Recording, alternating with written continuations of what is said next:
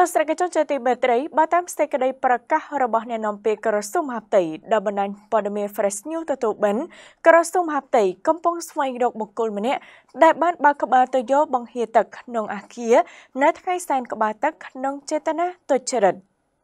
ក្រសួងមហាផ្ទៃកំពុងស្វែងរកជនមិនស្គាល់អត្តសញ្ញាណម្នាក់ដែលបានលួចបើកក្បាលទុយោបង្ហៀទឹកឲ្យចូលជននៅជាន់ទី5នៃអគារទីស្តីការក្រសួងមហាផ្ទៃដើម្បីចាត់ការតាមច្បាប់និងអនុវត្តវិន័យនេះបើតាមសេចក្តីប្រកាសរបស់អ្នកនាំពាក្យក្រសួងមហាផ្ទៃដែលបណ្ដាញព័ត៌មាន Fresh News ទទួលបានករណីទឹកហូរនៅជាន់ទី5នៃអគារទីស្តីការថ្មីក្រសួងមហាផ្ទៃបានកើតមានឡើងកាលពេលវេលាម៉ោង11នៃថ្ងៃទី30ខែសីហាឆ្នាំ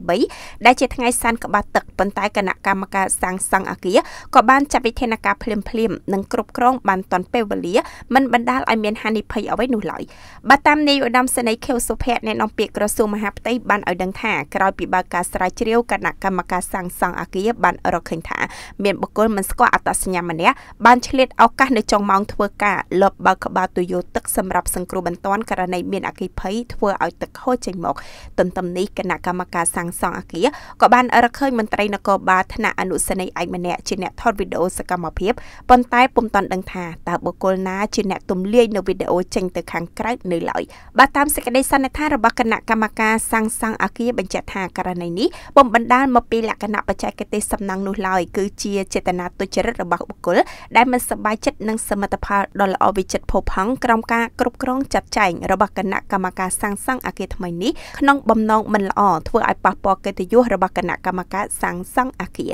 អ្នកនាំពាក្យក្រសួងមហាផ្ទៃបានបញ្ជាក់ជូនផងដែរថាទោះបីជាកាមេរ៉ាសុវត្ថិភាពពុំទាន់បំពាក់រួចគ្រប់ជ្រុងជ្រៅនៅឡើយក៏គណៈកម្មការសាងសង់អគារបានកំពុងបន្តនីតិវិធីស្រាវជ្រាវរកអត្តសញ្ញាណបុគ្គលដែលលបលួចបើកក្បាលទុយោទឹកនិងបុគ្គលដែលទម្លាយនៅវីដេអូចេញទៅក្រៅដើម្បីចាត់ការតាមផ្លូវច្បាប់និងអនុវត្តវិន័យតាមលក្ខន្តិកៈមន្ត្រីនគរបាលជាតិអ្នកនាំពាក្យក្រសួងមហាផ្ទៃសូមថ្លែងអំណរគុណចំពោះបណ្ដាអង្គភាពសារព័ត៌មាននិងសាធារណជនគ្រប់មជ្ឈដ្ឋានដែលតែងតែសហការគ្រប់គ្រងនិងតាមដានយ៉ាងយកចិត្តទុកដាក់រាល់កិច្ចការរបស់ក្រសួងមហាផ្ទៃ